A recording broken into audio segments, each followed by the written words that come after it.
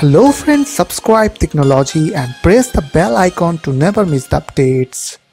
Hey what's up guys welcome back to our channel Tricknology. So today in this video I'm going to show you guys how to download Windows Server 2019 in your Windows computer. So you just need to follow me. So first of all you need to go to this website. I will give you the link to my video description. So after after after go to this website you have to click on Windows Server 2019 Essentials there and now you have to fill up this page. So like first name last name company name company size. So I will type there.